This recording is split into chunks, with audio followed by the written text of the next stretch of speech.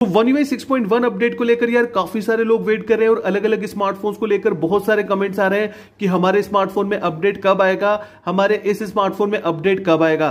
तो फाइनली एक न्यूज़ निकल कर आई है one UI six point one update की रोल आउट को लेकर, जिसमें ए सीरीज़ के कुछ स्मार्टफोन्स हैं और एस सीरीज़ के भी कुछ स्मार्टफोन्स हैं, जिसमें मई 2024 मतलब इसी मंथ में अपडेट रोल आउट किया जा सकता है। अब वो कौन कौन से स्मार्टफोन्स है, उनके बारे में तो आगे बात करेंगे, लेकिन उससे पहले बात कर लेते हैं। अगर आप मुझे फॉलो करते हैं तो मैंने लास्ट दो वीडियोज़ में आपको बताया था कि सैमसंग ने वन यू का जो अपडेट है उसे S twenty one series S twenty two series और फोल्ड और फ्लिप सीरीज़ के कुछ स्मार्टफोन्स को साउथ कोरिया में रोल आउट कर दिया था। लेकिन एस ट्वेंटी टू सीरीज़ में यार लॉक स्क्रीन में कुछ बग्स आ रहे थे और ऑटो रिस्टार्ट को लेकर कुछ बग्स आ रहे थे, जिसकी वजह से सैमसंग ने एस ट्वेंटी टू का one UI six point one का जो अपडेट है उसे होल्ड कर दिया था। और अब न्यूज़ निकल कर आ रही है कि Samsung S twenty two series के लिए वन यू वन अपडेट को बहुत ही जल्दी रिज्यूम कर सकता है क्योंकि एस ट्वेंटी टू सीरीज़ के वन यू वन अपडेट को लेकर जो टेस्ट बिल है वो सामने आ रहे हैं। तो यहाँ पर आप देख सकते हैं वन यू वन अपडेट के test build S twenty two series के लिए सैमसंग टेस्ट कर रहा है। इसका मतलब जो अपडेट है वो बहुत ही जल्दी रिज्यूम हो सकता है।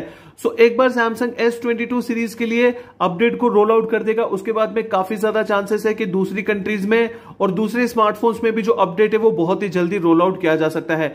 सो इस मंथ में सैमसंग के वो कौन कौन से स्मार्टफ़ोन है जिन्हें one UI six point one का अपडेट रोल आउट किया जा सकता है? अगर उसके बारे में बात करें तो आगे मैं आपको लिस्ट बताने वाला हूँ, जिन्हें इसी मंथ में अपडेट रोल आउट किया जा सकता है। तो उस लिस्ट की बात करें तो यहाँ पर सैमसंग के वो कौन कौन से स्मार्टफ़ोन है, जिसमें one UI six point one का जो अपडेट है, वो इसी मंथ मई के मंथ में मतलब एंड ऑफ़ द मई से पहले पहले रोल आउट किया जा सकता है। तो यहाँ पर आप देख सकते हैं सैमसंग के ये सारे स्मार्टफ़ोन है, जिनमें सिक्स से लेकर फिफ्टीन मई के बीच में one UI six point one का जो अपडेट है, वो रोल आउट हो सकता है। अब अपडेट देखिए, पहले हो सकता है डायरेक्टली इंडिया में रोल आउट नहीं होगा, पहले अपनी होम कंट्री साउथ कोरिया में रोल आउट होगा। उसके बाद में जैसे ही एक बार अपडेट रोल आउट हो जाएगा, चार से पाँच दिन या ऑलमोस्ट एक वीक के अंदर अंदर अपडेट इंडिया में भी रोल आउट हो सकता है। तो यहाँ पर आप देख सकते हैं एस ट्वेंटी वन सीरीज़ जिसमें एस ट्वेंटी वन एफ़ भी इंक्लूडेड है। एस ट्वेंटी वन एफ़ का एक्जीनोस और स्नैपड्रैगन दोनों ही वेरिएंट्स यहाँ पर इंक्लूडेड है।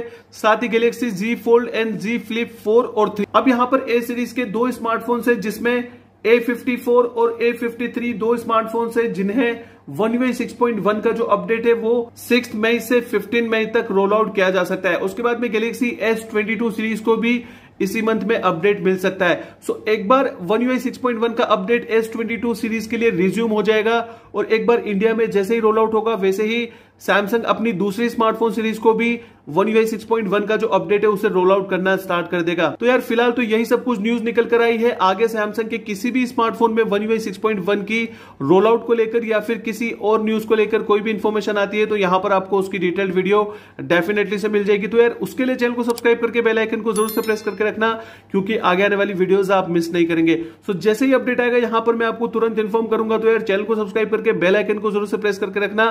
सो फ़िलहाल तो ये सब कुछ था इस वीडियो में। आई होप आपको वीडियो पसंद आया होगा। अगर आपको वीडियो पसंद आए तो यार जल्दी से इस वीडियो को लाइक कर दीजिए। सो मैं मिलता हूँ आपसे ऐसे इंटरेस्टिंग वीडियो में। Thanks lot for watching